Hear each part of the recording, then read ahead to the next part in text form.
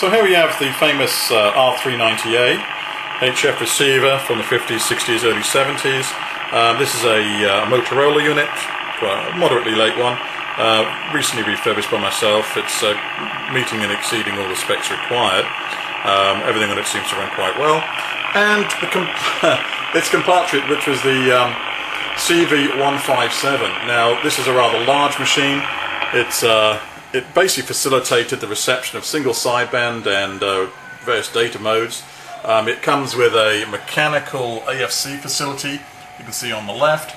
Uh, there's a couple of meters which read out the uh, basically the uh, audio levels and the carrier levels when they are when they're set up, and a number of knobs and, uh, and buttons there to push. So uh, for anybody who's into knobs and button pushing, this is the one to have. it does have a lot of um, of tubes in there. There's 44 tubes and the whole lot weighs something like about 35 kilos. So it's not for the, uh, the faint-hearted. But it does provide an extremely uh, good, clear, single sideband audio out. What we'll do is we'll attempt to have a bit of a listen to uh, some of the, uh, the HF stations. Um, let's just reset the, uh, the receiver here and make sure we're actually going to be on channel. Look the CAL facility. We will lock it off without knocking too much. Right, so we've now zeroed the cal, undo the lock, bring it back to the AGC base, and we'll just see if we can hear the Brisbane Aeronautical 8867. It's uh, a little amplifier above is an old Plessey 2 watt uh, valve amplifier, produces uh, just from the audio output, uh, basically a monitoring facility. Just talk through them. Uh, we have an A and B output which can be selected on the unit. There's an audio output sound. This is actually the, the output from the unit. There's a squelch alarm and a drift alarm. Um, under normal transmission conditions of multi, uh, many years ago, transmitters or receivers could drift, and if they drifted too far, this live come on. So what we're hearing there is uh, an aircraft calling at Nandi, which is uh, one of the islands in the southeast here. To depart uh, from Center at 06, section 212 radial, climbing flight level 360, and uh, estimated contact at 260.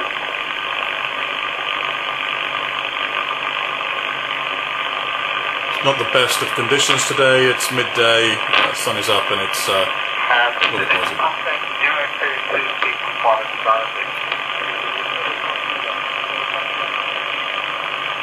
flight level 130, close on at this.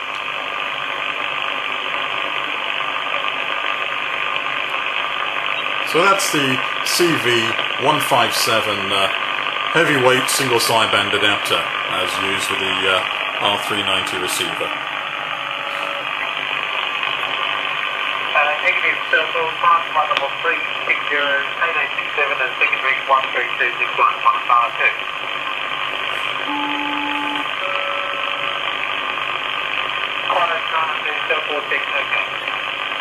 So it sounds like Qantas has got through. Let's uh, look onto a bit of AM searching and I'll explain the basis of the AFC.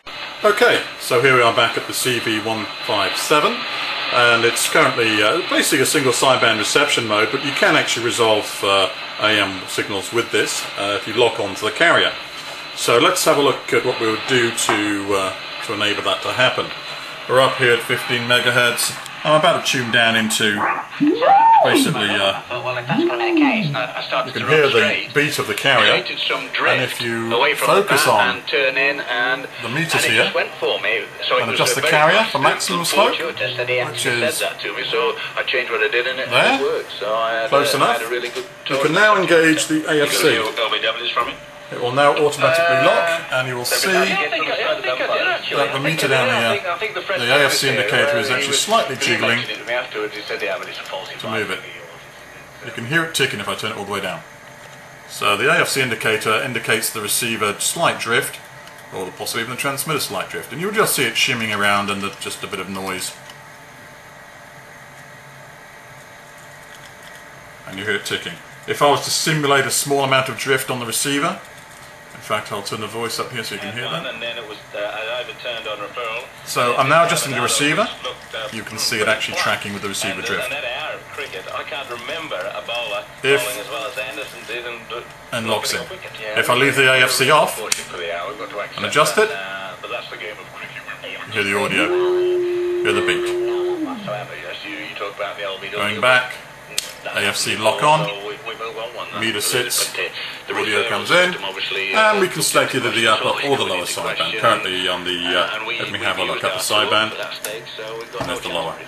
It's a question that lingers, of course. What is the best method of, of Lower. using referrals? Should Upper. it be in the hands of the Lower. players or entirely the umpires? And Remarkable piece of engineering for its time. believes that this Um, first single sideband adapter that came out, made by the Collins Company. Uh, We can actually have a look internally here. referral system, I like by pulling out main unit. and I've always said this, that it should stay uh, with the, the officials and the players shouldn't be involved in it whatsoever. So, 44 uh, valves. the, uh, There's a fan the exhaust at the officials back to allow it to extract the valve, the field, can, valve heat. work out the decision amongst themselves. And it goes way back a- into a the, question uh, from the from the players. Let the players get on with the job and let the umpires make the decision. Push it back again. I think that could happen somewhere along the line if we, we get to that point. Okay. I did try it once before, I know. I let's drop down in lot there. last year, and, Let's get out of the uh, way. And they obviously think this is the best way forward to keep on moving. Uh, So the CV157 single sideband adapter for the and decision point of R390.